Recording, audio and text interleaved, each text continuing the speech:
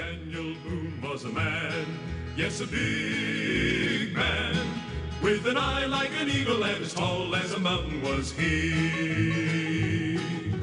Daniel Boone was a man, yes, a big man. He was brave, he was fearless, and as tough as a mighty oak tree. From the coonskin cap on the top of old Dan to the heel of his rawhide shoe. The rippinest, roarinest, fightinest man the frontier ever knew. Daniel Boone was a man, yes, a big man. What a Boone, what a doer, what a dream come a truer was he.